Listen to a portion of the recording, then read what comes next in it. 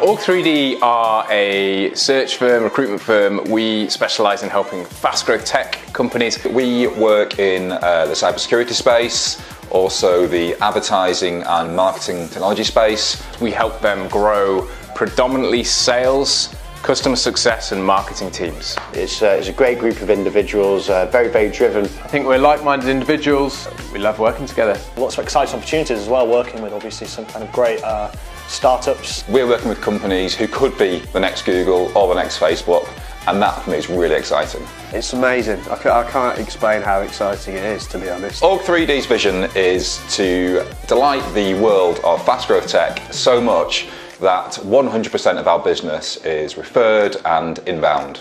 It's amazing in about just over 20 months now to go from a couple of us in a in a small little office to, to where we are now with 12 of us in, in, in this WeWork building. It's, it's just amazing. We were recently um, on the Manchester Top 100 Fast Growth Organisations. Um, that's kind of all organisations, not just recruitment. So that was really nice to see. Last Friday of the month, uh, we'll have a whole day at the office. In the morning, we'll all go out to uh, a local CrossFit gym I'll actually take a session and coach the guys and after earning our lunch go out and we're ticking off all the, the restaurants in Manchester. They really help us live well with the work-life balance and they give us all the support and training that we need. It was in my fifth month, I uh, managed to um, rack up some commission and, and got a, a, monthly payout of uh, £10,000. Really kind of brings you brings you together as, a, as, as kind of like a family, really, which is, is what you want. We're doing a, a charity cycle on the Peloton and you know I, I like to come in early and get half an hour, 45 minutes on, on the bike sometimes. We all get on very well, we're all intermingled very well, we all know what we're doing.